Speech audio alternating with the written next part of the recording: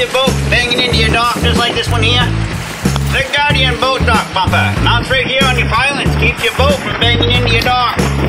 This Guardian bumper has got a curvature on the backside, so it fits on your pilings.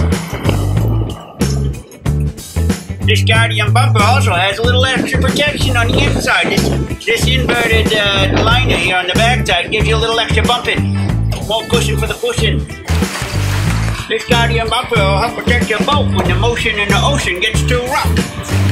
On the front side of it, it's got a tiny little hole to put your tools in there. Oh, cut myself. By Jesus. Sharp fiberglass. From when the boat smashed into the dock. Look at there, you don't want any of that. Get yourself some, uh, protect your fiberglass on your boat. Get one of these Guardian bumpers. Shove it right in there on the piling like that. It's got a little curvature on the backside, see? Can mount along the side right here. Just watch your fingers. Jeez. Just lay them in there. Wind them right in there with a lag stroke. Help protect everything. Ah! Carefully pre-drill a little hole this quarter inch fit. Help get your lag started easier. Wait, geez, the sun's coming out.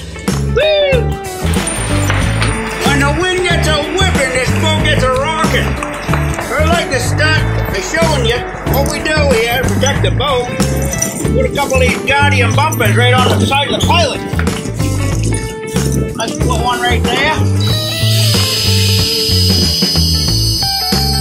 Don't get your.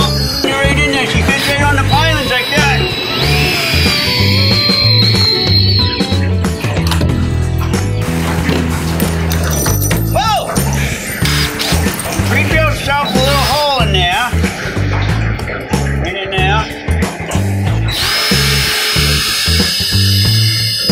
Your beard caught in the hole. Take your drill out, switch over your socket, wind her right in there. Don't try this at home, you might get pinched in between the boat and the dock. Son of a biscuit! Try not to pinch yourself in between the dock and the boat. You just wind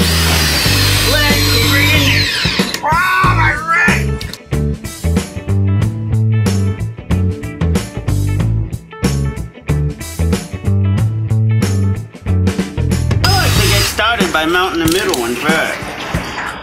Come right on here and drill yourself a little hole. Ah. Can't see a damn thing. What are we drilling in there? Is this rotted or what?